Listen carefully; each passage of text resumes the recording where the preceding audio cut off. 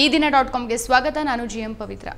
ಎಲ್ರಿಗೂ ಉದ್ಯೋಗ ಮತ್ತು ಸ್ವ ಉದ್ಯೋಗದ ಅವಕಾಶ ಸಿಗತ್ತೆ ಅಂತ ಎರಡ್ ಸಾವಿರದ ಇಪ್ಪತ್ತೆರಡರಲ್ಲೇ ಪ್ರಧಾನಿ ನರೇಂದ್ರ ಮೋದಿ ಅವರು ಹೇಳಿದರು. ಎರಡ್ ಸಾವಿರದ ಹನ್ನೊಂದು, ಹನ್ನೆರಡರಿಂದ ಎರಡ್ ಸಾವಿರದ ಇಪ್ಪತ್ತೆರಡು ಇಪ್ಪತ್ತ್ಮೂರರವರೆಗೆ ಸ್ವ ಉದ್ಯೋಗಿಗಳ ಸಂಖ್ಯೆ ಹೆಚ್ಚಾಗಿದೆ. ಶೇಕಡ ಐವತ್ತಕ್ಕಿಂತ ಹೆಚ್ಚು ಪುರುಷರು ಸ್ವ ಉದ್ಯೋಗಿಗಳಾಗಿದ್ದಾರೆ. ಮೂವರಲ್ಲಿ ಇಬ್ಬರು ಮಹಿಳೆಯರು ಸ್ವ ಉದ್ಯೋಗಿಗಳಾಗಿದ್ದಾರೆ. ಆದರೆ ಇದರಲ್ಲಿ ಪ್ರಧಾನಿ ನರೇಂದ್ರ ಮೋದಿಯವರ ಕೊಡುಗೆ ಏನು? ಅಷ್ಟಕ್ಕೂ ಒಳ್ಳೆ ಸರ್ಕಾರಿ ಕೆಲಸ ಬಿಟ್ಟು ಪಕೋಡ, ಬೋಂಡ ವ್ಯಾಪಾರ ಆರಂಭಿಸಿ ಜನರು ಸ್ವ ಉದ್ಯೋಗಿಗಳಾಗ್ತಿದ್ದಾರಾ ಆದರೆ ವಾಸ್ತವ ನೋಡೋಕೋದ್ರೆ ಯಾವುದೇ ಉದ್ಯೋಗದಲ್ಲಿ ಭದ್ರತೆ ಇಲ್ಲ, ಉತ್ತಮ ವೇತನ ಇಲ್ಲ. ಇದೇ ಕಾರಣಕ್ಕೆ ಜನರು ಸೆಲ್ಫ್ ಎಂಪ್ಲಾಯ್ಮೆಂಟ್ ಕಡೆ ವಾಲ್ತಿದ್ದಾರೆ ಇದರಲ್ಲಿ ಮೋದಿ ಸಾಧನೆ ಏನಿದೆ? ಮೋದಿ ಶಿಕ್ಷಣಕ್ಕೆ ತಕ್ಕಂತೆ ಸರಿಯಾದ ಉದ್ಯೋಗ ಒದಗಿಸಿದ್ರೆ ಜನರೆಲ್ಲ ಈಗ ಸ್ವ ಉದ್ಯೋಗದ ನೆಪದಲ್ಲಿ ಪಕೋಡ ಮಾರುವಂಥ ಪರಿಸ್ಥಿತಿ ಬರ್ತಿತ್ತ? ಇನ್ನು ಎಲ್ಲ ವಸ್ತುಗಳ ಬೆಲೆ ಏರಿಕೆಯಾದರೂ ಕೂಡ ಬಡವರ ಆದಾಯ ಮಾತ್ರ ನಮ್ಮ ದೇಶದಲ್ಲಿ ಹೆಚ್ಚೇ ಆಗ್ತಾ ಇಲ್ಲ. ನಮ್ಮ ದೇಶದಲ್ಲಿ ಅದೆಷ್ಟೋ ಮಹಿಳೆಯರು ಅನಿವಾರ್ಯವಾಗಿ ವೇತನ ಇಲ್ಲದೇನೆ ಕೆಲಸ ಮಾಡ್ತಿದ್ದಾರೆ.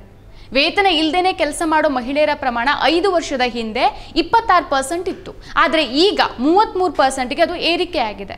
ಮೂವರಲ್ಲಿ ಇಬ್ಬರು ಮಹಿಳೆಯರು ವೇತನ ಇಲ್ಲದೇನೆ ಮನೆ ಕೆಲಸ ಮಾಡ್ತಿದ್ದಾರೆ ಅಂತ ಕೇಂದ್ರ ಸರ್ಕಾರದ ಡೇಟಾನೇ ಹೇಳುತ್ತೆ.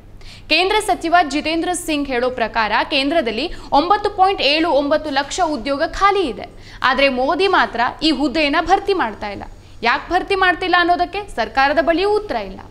ನಮ್ಮ ಸರ್ಕಾರ ಯುವಕರ ಭವಿಷ್ಯವನ್ನು ಗಮನದಲ್ಲಿಟ್ಟುಕೊಂಡು ಮಿಷನ್ ಮೋಡ್ನಲ್ಲಿ ಕೆಲಸ ಮಾಡ್ತಾ ಇದೆ ಅಂತ ಪ್ರಧಾನಿ ನರೇಂದ್ರ ಮೋದಿ ಅವರು ಎರಡ್ ಸಾವಿರದ ಇಪ್ಪತ್ತ್ ಮೂರರ ಅಕ್ಟೋಬರ್ನಲ್ಲಿ ಹೇಳಿದರು.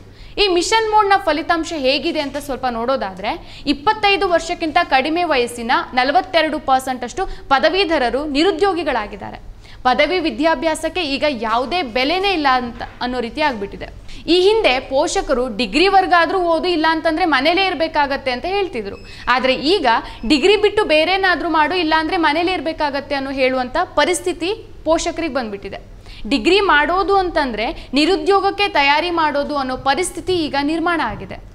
ಪ್ರಧಾನಿ ಮೋದಿ ಅವರು ಆದಾಯ ಮತ್ತು ಅವಕಾಶ ಹೆಚ್ಚಾಗ್ತಿದೆ, ಬಡತನ ಇಳಿತಿದೆ ಅಂತ ಹೇಳ್ತಾರೆ. ಆದರೆ ನಿಜವಾಗ್ಲೂ ಆದಾಯ, ಅವಕಾಶ ಹೆಚ್ಚಾಗ್ತಿರೋದಲ್ಲ, ಕಡಿಮೆ ಆಗ್ತಾ ಇರೋದು. ಬಡತನ ಹೆಚ್ಚಾಗ್ತಾ ಇರೋದು.